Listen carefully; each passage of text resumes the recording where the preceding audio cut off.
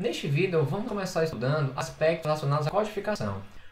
Nós devemos escolher um método de codificação adequado para codificar os problemas. Fazendo uma analogia, nós tivemos que encontrar uma forma de representar as máquinas de Turing por meio de uma palavra, formando então a linguagem das máquinas de Turing.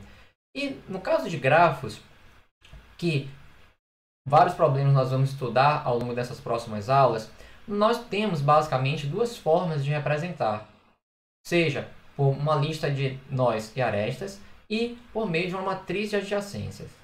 Na verdade, em problemas de grafos, o tempo de execução ele pode ser calculado em termos de número de nós em vez do tamanho da representação do grafo. Isso quer dizer que o tamanho da representação está a uma diferença polinomial em termos do número de nós. E com isso, se o tempo de execução nós mostrarmos que é polinomial ou exponencial em função do número de nós, então o tempo de execução daquela máquina de Turing vai ser polinomial ou exponencial em função do tamanho da entrada, justamente porque o tamanho da representação está uma diferença polinomial em função do número de nós. Vamos entender aqui como nós poderíamos representar um grafo. Então, se nós tivermos esse grafo, então aqui nós teríamos o vértice V1, V2 e V3. Então a ideia é muito parecida. Então nós vamos representar aqui como 1, 1, 1, 1, 1.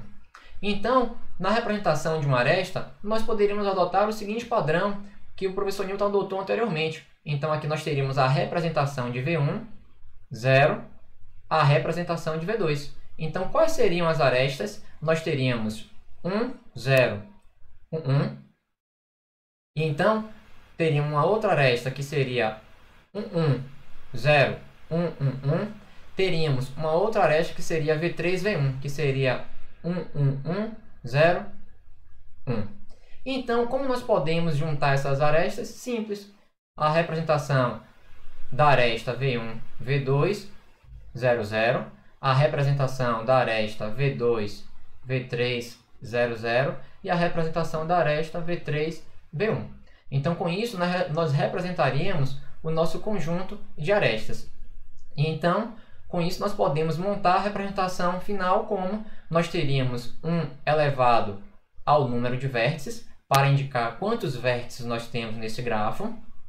E então, poderíamos colocar uma sequência de três zeros e a representação das arestas que nós vimos anteriormente. Então, com isso, nós representaríamos o nosso grafo G apresentado nessa figura. Então, nós podemos começar a estudar alguns problemas. O primeiro problema que nós vamos estudar é a linguagem PF.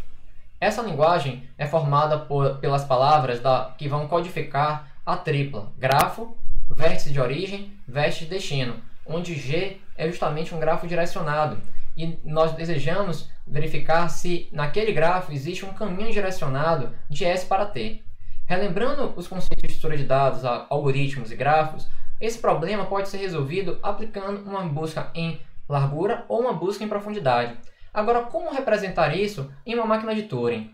Então, a máquina de Turing vai operar da seguinte forma com uma entrada que vai representar essa instância do problema de decisão, nós vamos verificar o que? Nós vamos marcar o nó de origem, S. E então vamos repetir o seguinte passo. Nós vamos varrer todas as arestas do grafo. Veja, é um procedimento um tanto ineficiente. Todas as arestas serão varridas.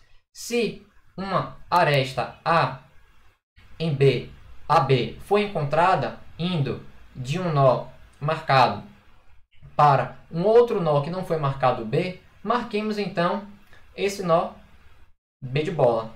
Então, com isso, nós vamos repetir até que nenhum nó adicional seja marcado.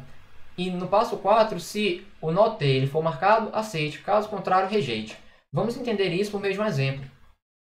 Então, aqui, supõe o seguinte cenário. Nós temos essa, esse, esse grafo direcionado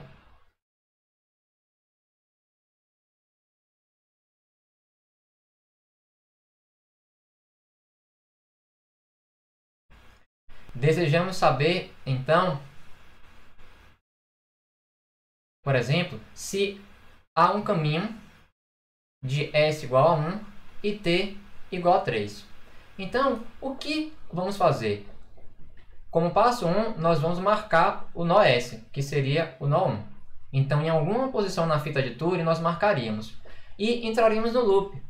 Marcaríamos todas as arestas. Então, vamos, pensar, vamos seguir é, esse seguinte exemplo aqui. Então, pegamos essa primeira aresta. 1 é marcado e 2 não é marcado. Então, vamos marcar 2. Então, suponha que a outra aresta seria justamente a aresta 1, 3. Então, 1 não está marcado, 3 está marcado. Então, com isso, nós marcamos 3. Aí, vamos dar continuidade. Essa aresta 2, 3. 2 está marcado e 3 está marcado, nada fazemos. Essa aresta 3 está marcado, 2 está marcado, nada fazemos. Então, com isso, percorremos todas as arestas. Aí vamos repetir a próxima interação. O que vai acontecer? Vai acontecer que 1, 2, nada fazemos, 2, 3, nada fazemos, 1, 3, nada fazemos, 3, 1, nada fazemos. E ao final, T, que é o destino, está marcado. Vamos entender por meio de um outro exemplo. 1, 2, 3. Então vamos ver se justamente há um caminho de S igual a 1, aqui eu vou colocar uma outra aresta, para t igual a 3. Então, observe que no primeiro passo nós marcamos S, que é igual a 1, e vamos iterar por todas as arestas. Vamos lá. 1. Então, começamos por essa aresta, por exemplo. 1 para 4. 1 está marcado, 4 não está marcado. Marcamos 4.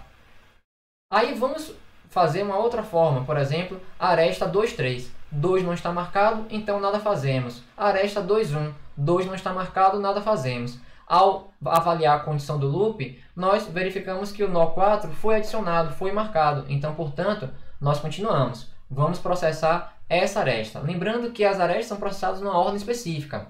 Então, aqui, 1, 4, nada fazemos. 2, 3, nada fazemos, pois o 2 não foi marcado.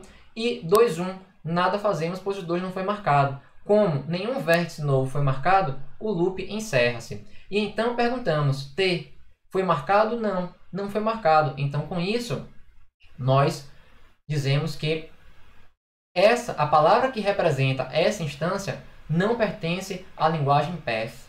Então, veja que o fato de marcar é utilizar uma porção da fita, uma parte da fita, para armazenar essa informação, esse resultado. Então, no próximo vídeo nós vamos ver um outro problema que pertence ao conjunto P. Mas antes de prosseguir, vamos tentar entender por que justamente esse algoritmo ele é polinomial. Esse algoritmo é polinomial, pois justamente nós vamos repetir até que nenhuma aresta, a, é, a nenhum, nenhum novo nó, ele seja marcado. Então veja que o número máximo que nós, que nós vamos de repetições que nós vamos fazer no, na etapa 3 é escanear todas as arestas. Então, isso é igual ao conjunto de arestas do grafo.